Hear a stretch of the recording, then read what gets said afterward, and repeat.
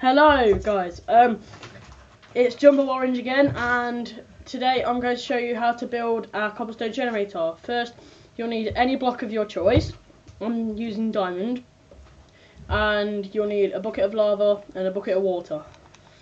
First you'll need to set your blocks out in a configuration like this, like a square, a bit, and then you'll need three more which you put like that just a bit like a chessboard. And then you build it up one on every block. In one of the holes, you put lava in at the top, and in the other, you put water in at the top.